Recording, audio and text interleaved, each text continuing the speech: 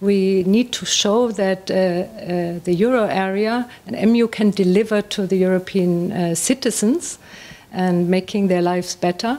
Secondly, it's also important to stabilize the economy and make it more resilient to, to shocks.